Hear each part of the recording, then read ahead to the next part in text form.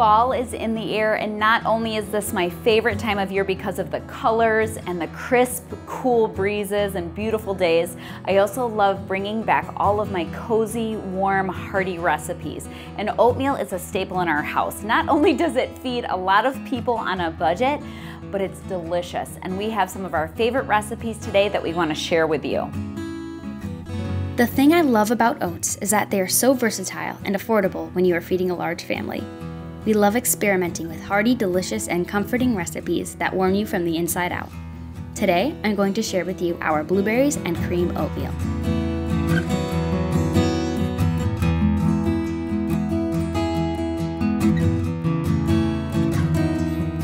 To a medium saucepan, add in 3 cups of water one and a half cups of old fashioned rolled oats, a dash of salt, 4 tablespoons of pure maple syrup, 3 tablespoons of cream, 1 3rd cup of dried, fresh, or frozen blueberries.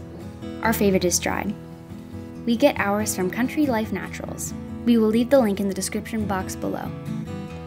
1 tablespoon of butter, 1 4th teaspoon ground cinnamon, and 1 half teaspoon of vanilla extract.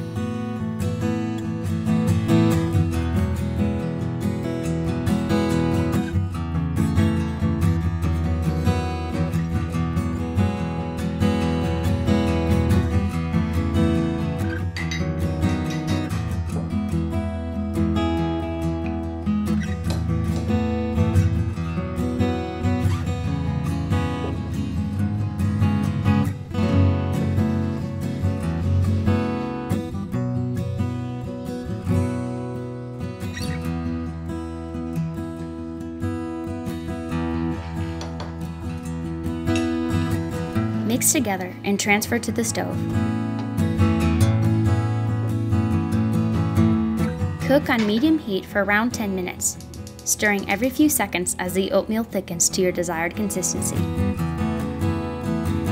I decided to toss in a few extra blueberries partway through cooking.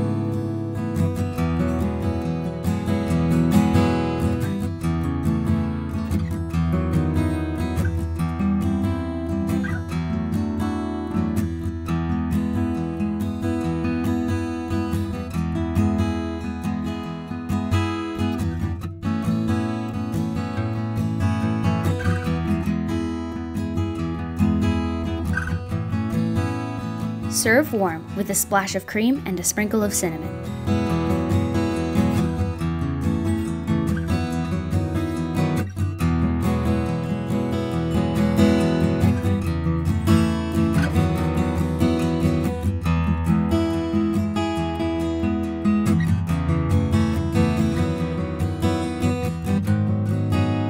My mom has memories of eating instant blueberries and cream oatmeal at her grandma Porter's house. This recipe not only nourishes, but also nurtures nostalgic memories.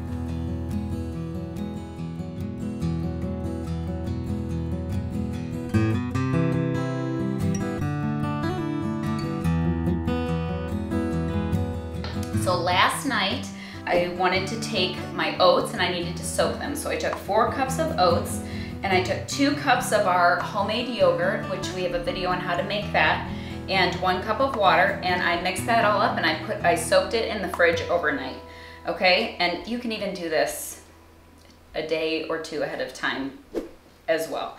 So anyway it's all soaked and ready to go and now I've collected all my other ingredients and we're gonna throw this together okay? So I, uh, I went and got this out of the fridge and now I'm gonna add some eggs to it. I have four eggs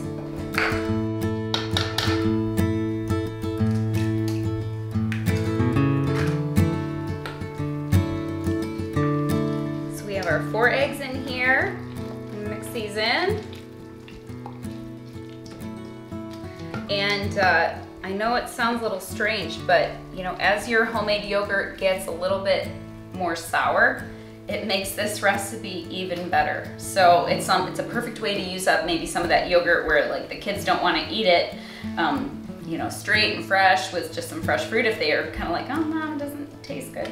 If it's a little sour, it's perfect for this recipe. Okay, so we've got our eggs in there. We are going to add in a cup of maple syrup. Can't go wrong with that. 3 fourths cup of melted butter.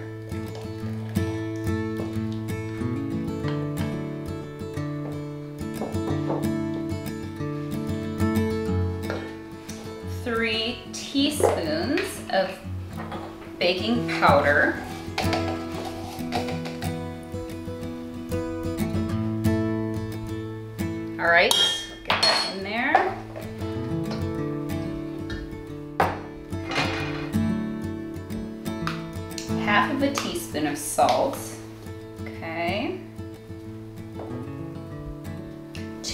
Teaspoons of vanilla.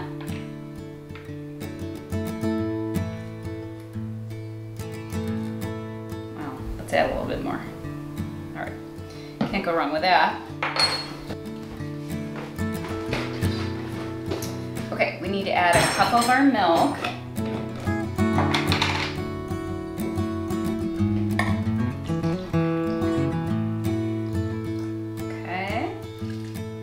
Let's get this all mixed in and incorporated.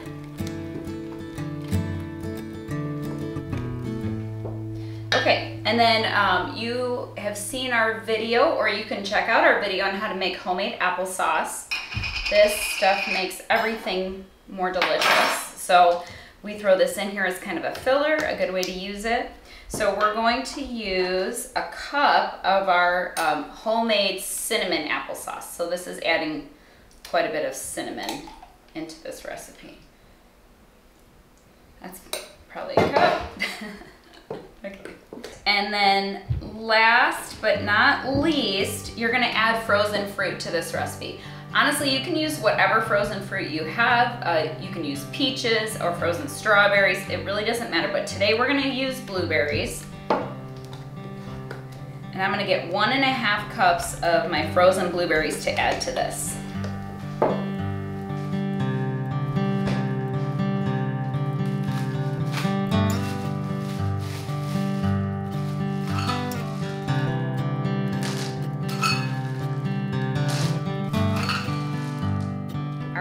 We've got that all mixed in, all incorporated. Now we're ready to put it into our cast iron. I like to use my 12 inch cast iron and I'm gonna butter it. Obviously cast, my cast iron's already oiled, but I'm just adding a little butter to it because we don't want it to stick and get ruined. So we'll do a quick butter on this. All right. We're gonna add all this goodness in there. And this ends up being enough for two full meals for my family, family of eight. So obviously if maybe you have adult children, it may not go as far. Or little kids, it might last you even longer. Okay, so we're gonna add this in here. All right, now I'm gonna put this in the oven 350 degrees, I already started it, 350 degrees for 35 to 40 minutes and I want it to get nice and caramely on top, so we'll take a look in a few minutes when it's done.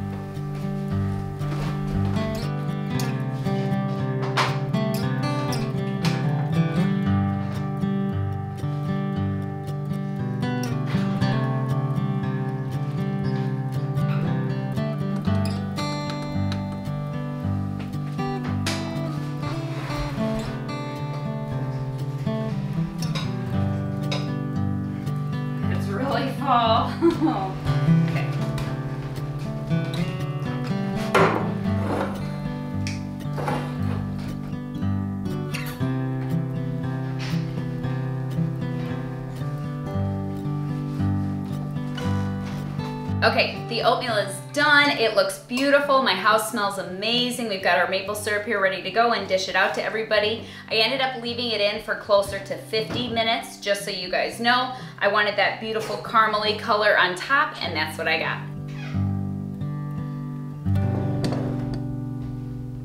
Oatmeal is a standard breakfast item here in our house and we love our baked oatmeal, but we also love an upgraded version of oatmeal that we call caramel apple oatmeal. So today I wanna share that recipe with you. There is nothing better than a warm, delicious breakfast on a cool fall day. And this caramel apple oatmeal recipe is going to be a favorite for you and your family. First, we're going to peel, core, and chop up two large apples.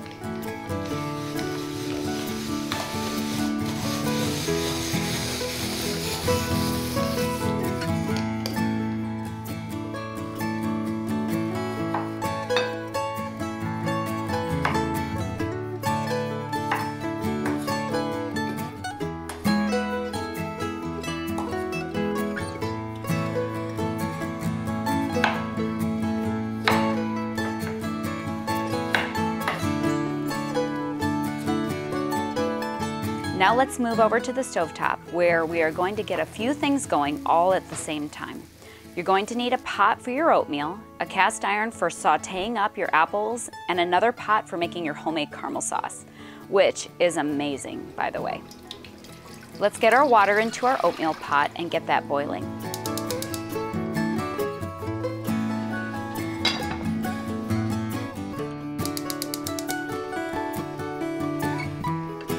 Next, let's add two tablespoons of butter to our cast iron and get those apples sauteed up until they are nice and caramelized.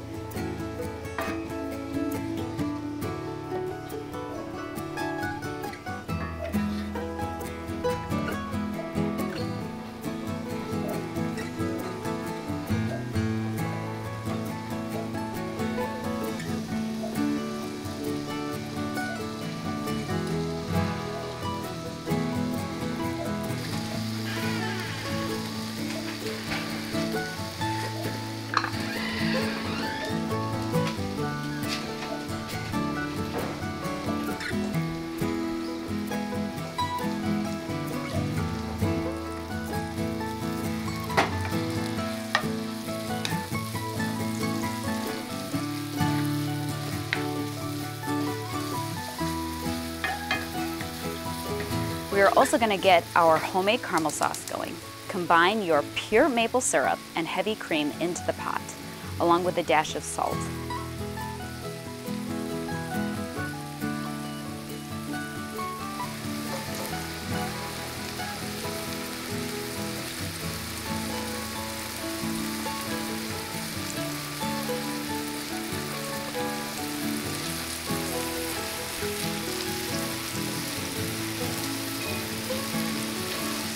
Caramel sauce takes a little bit of time, so make sure you have at least 20 minutes to let this reduce and thicken. Also, keep your eye on that caramel because it likes to bubble over.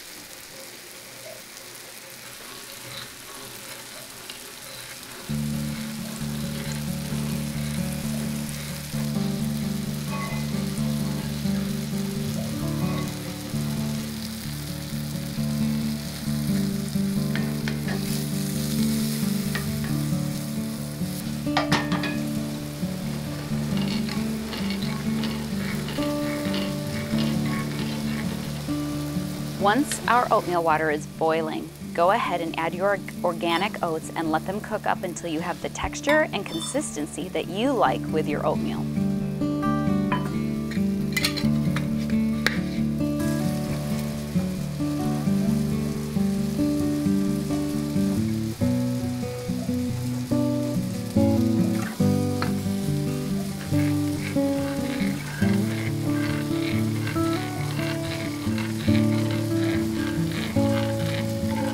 Once your apples are done, set them aside.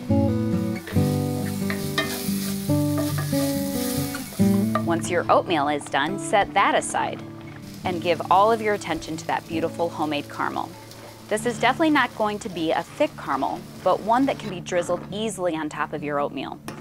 You are going to want to let it reduce by at least half. Once your caramel is done, you can prepare breakfast for your family. Be careful though, you are going to want to eat this caramel all by itself. But you can do it. It's really better on top of the oatmeal. Enjoy.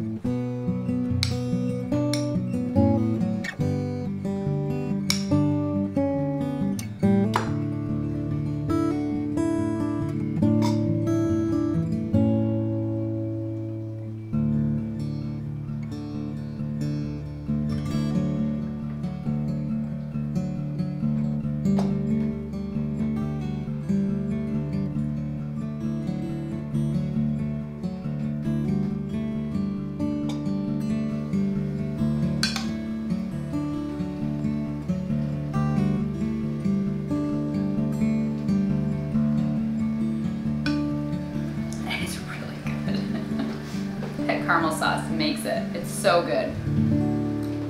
Mm.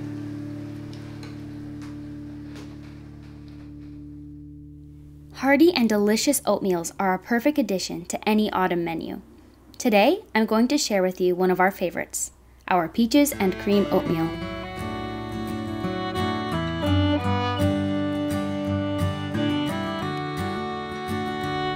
To a medium saucepan, add in 3 cups of water, 1 and a cups of old-fashioned rolled oats, a dash of salt, 4 tablespoons of pure maple syrup, 3 tablespoons of cream, 1 half cup of peeled and sliced peaches.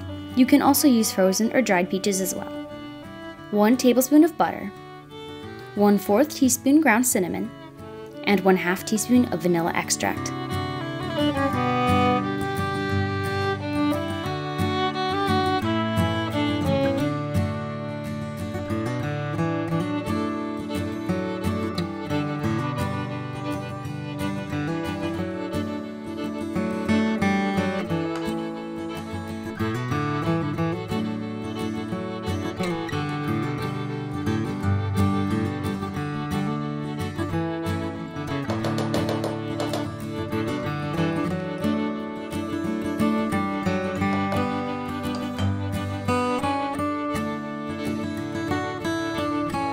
Mix together and transfer to the stove.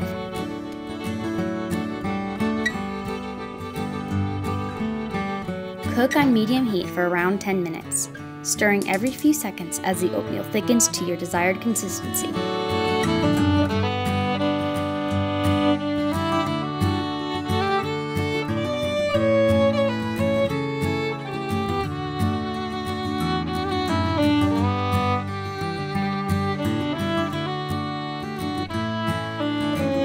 Serve warm and garnish with peach slices and a spoonful of our peach peel jelly.